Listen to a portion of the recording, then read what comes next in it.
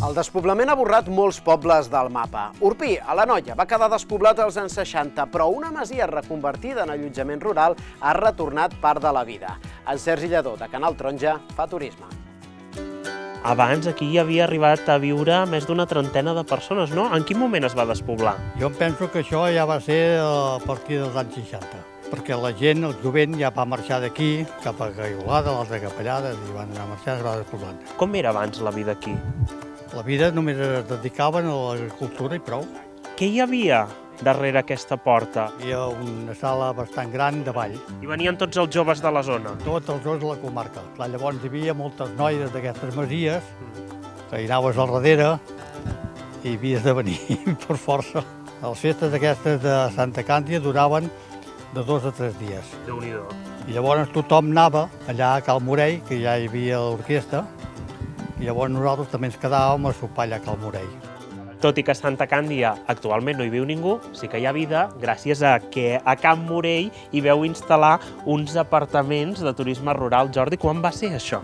Mira, doncs nosaltres vam eh, comprar tota la finca de Can Morell amb un projecte familiar entre, do, entre diverses famílies i eh, l'any 2006, eh, sense en principi la, la idea de fer turisme rural. Que passa que tots aquests edificis que veiem per aquí van començar a caure, estaven en absoluta ruïna i això ens vam haver, vam haver de decidir, de pensar doncs, què fèiem i doncs, a partir d'aquí vam idear una mica la, la idea d'un projecte de turisme rural Això ha ajudat a revifar una mica el poble, perquè quan veu arribar no, estaven ruïnes. El moviment doncs, eh, doncs, d'aquestes famílies que venen aquí de turisme es nota, es nota mm, també amb, amb els pocs restaurants o pocs serveis que hi han.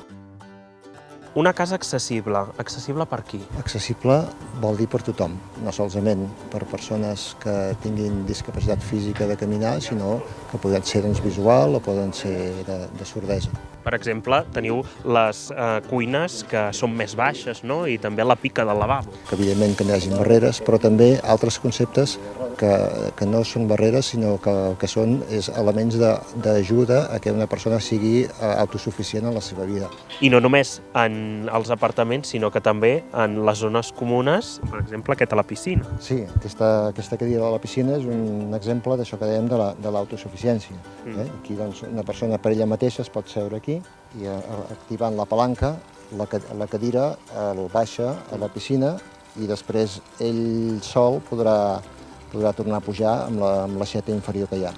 Un concepte que heu aplicat en un poble despoblat, no? A Urpí, què diuen del poble? A Urpí doncs, penso que ens estan molt contents primer de veure un patrimoni de, aquí de, no solament de Can Morell, sinó de tot el lloc de Santa Càndia que s'estava pràcticament ensorrant. Nosaltres, en el parc ens toca, hagin fet una, una petita col·laboració en recuperar aquest patrimoni i, i juntar-se doncs, amb els esforços de tot el poble.